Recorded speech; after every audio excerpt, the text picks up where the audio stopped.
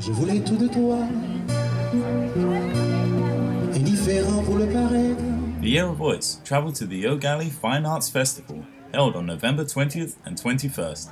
The Artworks Festival is an open air show featuring over 100 artists competing for $14,000 in prize money. Not only do the artists showcase their work, but they also reveal the process in creating their art.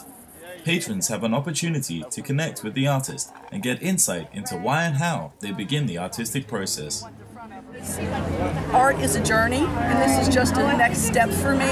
And the more I experiment and the more I create, the more I grow as an artist. And what it, what I really feel is that it's, it will be part of my existence. When I'm gone, it'll prove that I was here.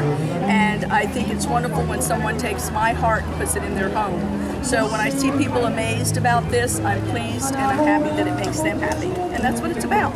And The event also includes live music, a food court, and a student art show. The art show is a family friendly event, and the Brevard Art Museum was offering free children's art workshops. This year's Best of Show winner was James Michael Nemnick. The artworks judge was Catherine Peterson, who is the executive director of the Florida Museum for Women Artists in DeLand. This year's artworks poster was created by Nancy Strange Seed of Cocoa Beach. Artworks is a great place to come if you are interested in learning about, purchasing, or simply viewing some of Brevard's finest artwork.